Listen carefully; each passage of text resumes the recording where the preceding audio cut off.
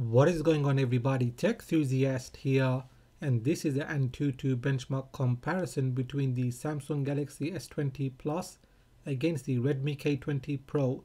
So we have the new Exynos 990 CPU versus the Snapdragon 855, 12GB of RAM versus 8 and the rest of the specs you can see on the sides.